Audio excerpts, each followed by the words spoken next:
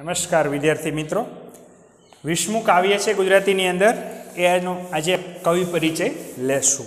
પાના નંબર એકસો ત્રણ ઉપર છે. તમારી ગુજરાતી ખોલો. વિષ્ણુ કાવ્ય છે.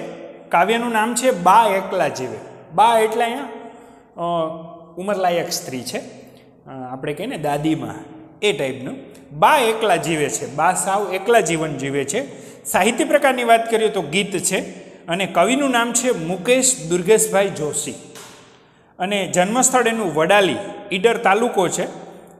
વડાલી ગામ છે, ઈડર તાલુકો છે ને સાબરકાંઠા જિલ્લો છે. અહીંયા એનો જન્મ થયો. તો તો પાના નંબર એકસો ત્રણ ઉપર તમે ગુજરાતી ખોલો. એનો કવિ પરિચય આપણે જોઈએ. બા એકલા જીવે, મુકેશભાઈ જોશી.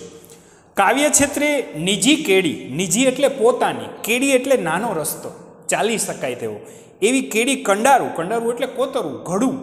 એ કવિ મુકેશ દુર્ગેશભાઈ જોશીનો જન્મ વડાલી ઈડર જિલ્લો સાબરકાંઠામાં થયો હતો. વડાલી ગામ છે, ઈડર તાલુકો ને સાબરકાંઠા જિલ્લો છે. ત્યાંનું ગામ છે, વડાલી. ન્યાય મુકેશભાઈ જોશીનો જન્મ થયો. અભ્યાસ મોડાસાની સર્વોદય હાઈસ્કૂલમાં કર્યો છે. જ્યાં મોડાસા જે તાલુકો છે, ત્યાં એનો સર્વોદય હાઈસ્કૂલમાં એને અભ્યાસ કર્યો છે. ડિપ્લોમા સિવિલ એન્જિનિયર તેમજ એમએ જેવી શૈક્ષણિક ઉપાધિઓ ધરાવે છે. ડિપ્લોમાનો સિવિલ એન્જિનિયરનો કોર્સ કર્યો ને એમએ એટલે માસ્ટર ઓફ આર્ટ્સ. આ બે ઉપાધિ, ઉપાધિઓ એટલે અહીં ચિંતા નહીં. ડિગ્રીની વાત છે. હશ્વ છે ને, દીર્ઘ હોય તો ઉપાધિ એટલે ચિંતા થઈ જાય. કાગળને પ્રથમ તિલક ત્રણ તેમજ બે પંક્તિના ઘરમાં એમના નોંધપાત્ર કાવ્ય સંગ્રહો છે. જળ અભિષેક, આંતરયાત્રા, એક સાવરિયો, બીજો બાવરિયો. રૂપિયાની રાણી અને ડોલરિયો રાજા એમના નાટકો છે. જો સરસ મજા નામ જ નાટકોને આવે છે આપણે, આમ નામ વાંચીએ તોય મજા આવે, હે? આંતરયાત્રા, એક સાવરિયો ને બીજો બાવરિયો, રૂપિયાની રાણી ને ડોલરિયો રાજા. બહુ મજા આવે એવા નાટક છે. એમને સૈદા એવોર્ડ સૈદા એવોર્ડ આપણે એક કવિ હતા હરજી લવજી દામાણી, જેનું ઉપનામ છે સૈદા, એની યાદમાં અપાય છે. પછી જયંત પાઠક એવોર્ડ સુરત, ગુજરાત સાહિત્ય અકાદમી એવોર્ડ, તેમજ હરીન્દ્ર દવે એવોર્ડ બે હજાર દસ. કેટલા બધા એવોર્ડ એને પ્રાપ્ત થયા છે મુકેશભાઈ જોશીને. વિષય વસ્તુની પસંદગીથી લઈ અને એની અભિવ્યક્તિની ભાવસઘન ભાષાને લઈને એમની કવિતાને સૌનું ધ્યાન ખેંચ્યું છે. વિષય વસ્તુની પસંદગી એવી સરસ કરે, એની અભિવ્યક્તિ પણ એટલી સરસ હોય અને ભાવ પણ એટલો ઊંડાણપૂર્વકનો હોય અને ભાષા પણ એટલી સરસ હોય કે એની કવિતાનું, કવિતા તરફ બધાયનું ધ્યાન ખેંચાય. એટલી સરસ મજાની અભિવ્યક્તિને, ભાષાને, એ બધું ભાવને હોય છે. આ કાવ્યની અંદર શું છે વાત કરી તો કે બે પેઢી વચ્ચે જે ભૌતિક અને માનસિક અંતર વધતું જાય છે. મિત્રો, અત્યારે વડીલો અને યુવાનો, આ બે જે પેઢી છે, આ પેઢી વચ્ચે ભૌતિક એટલે આમ આટલા કિલોમીટર આટલા કિલોમીટર ભૌતિક અને માનસિક, કે તમારા આ વિચારો મને મેળ જ ના આવે. તમારે તમે છે ને આવું જ કરો. હે, આજે વડીલો અને યુવાનો બેયના વિચારો માનસિક અંતર પણ વધતું જાય છે ને, ભૌતિક અંતર પણ. અને ગામડાની અંદર વડીલો ગામડામાં રહે છે ને, ઓલા શહેરમાં દૂર દૂર રહે છે. એટલે ભૌતિક અંતર તો વધ્યું, પણ ગામડામાં રહે છે અથવા ગામડે આવે છે ત્યારે માનસિક અંતર પણ છે. મનના વિચારો પણ એક નથી. આ અંતર હજી વધતું જ જાય છે. અને આ સમય જૂની પેઢીને ખાલીપો આપી જાય છે. હવે જૂની પેઢી છે ને નકર વર્ષો પહેલાં તો એવું હતું કે આખું કુટુંબ છે, જૂની પેઢી, નવી પેઢી સાથે રહેતું હોય.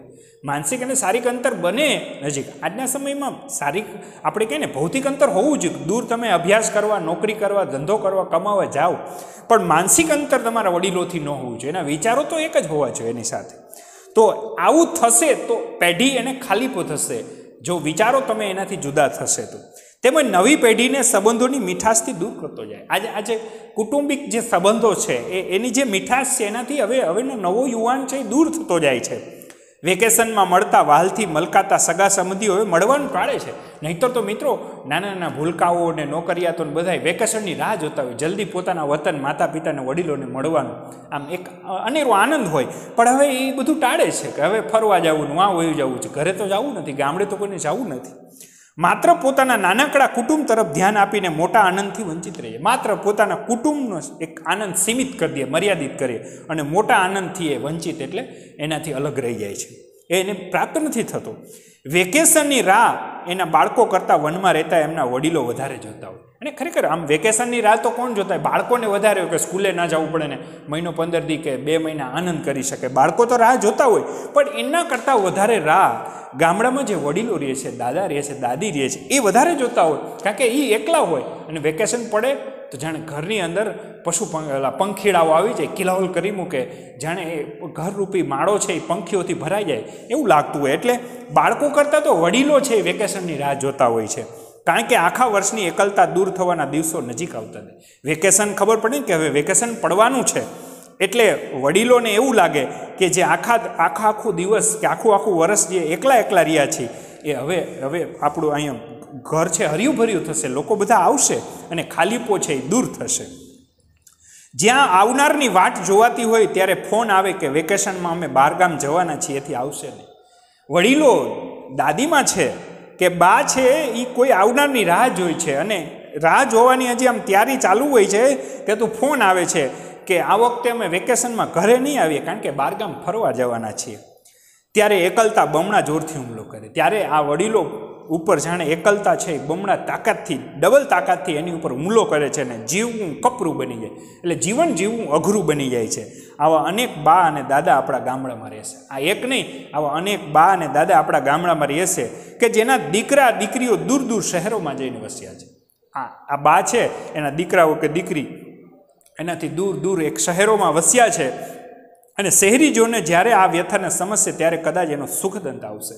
ખરેખર આ દુઃખ શહેરીજનોએ સમજવું જોઈએ અને જેદી આ આ દુઃખ છે એ સમજી લેશે ને, ત્યારે આ દુઃખનો સુખદ અંત આવશે. કે ભાઈ, એ એ વડીલો છે, એને પણ એક માણસની જરૂરિયાત હોય.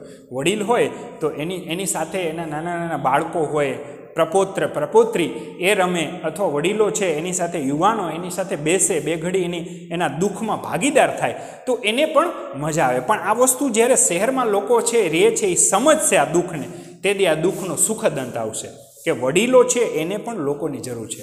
એટલે વેકેશનમાં ખરેખર ફરવા જવા કરતાંય એના દાદા દાદી છે એ બાળકોની રાહ જોતા હોય, તો ખરેખર દાદા દાદી કે નાના નાની એની પાસે મળવા જવું જોઈએ. તો એની એકલતા, એનું દુઃખ પણ દૂર થાય છે. તો અહીંયા કાવ્યનો કવિ પરિચય છે એ દૂર થાય છે. હવે પછીના વિડીયોમાં આપણે કાવ્યને વિગતે અને ટૂંકો સાર રૂપે સમજીશું.